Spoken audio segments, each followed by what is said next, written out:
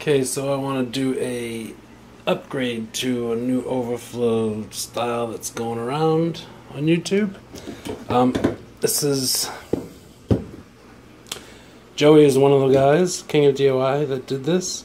Um, so it's basically like this here. Here's the regular overflow, and rather than elbowing up, he uses this tube here now, and he'd have an end cap on the end of that tube. And then he suction cups this tube to the glass tank. So I found suction cups are fairly unreliable. So the minute that suction cups let go, this canister with the end cap on it floats and basically breaks your suction and causes a problem.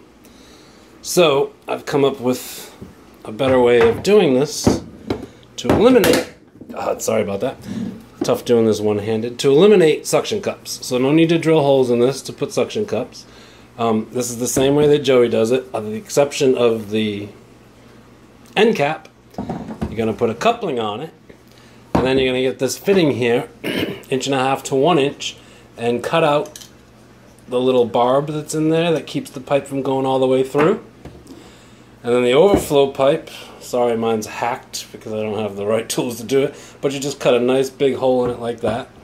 And then I'm going to pass this through there. It's again tough to do one-handed. and then this whole assembly slips onto here. And now it's locked in place onto this overflow tube.